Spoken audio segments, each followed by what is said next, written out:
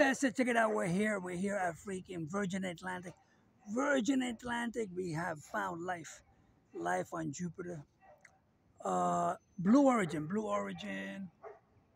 Blue Origin. Uh, Mars. Elon Musk. We're all here. You should have seen it yesterday. Uh, some of the girl astronauts. Girl astronauts were climbing that shrine. Elon Musk was climbing again. Jeff Bezos and uh, Virgin Atlantic. Not a bad, uh, not a bad place. Put this on Mars or Jupiter. Jupiter's not that bad.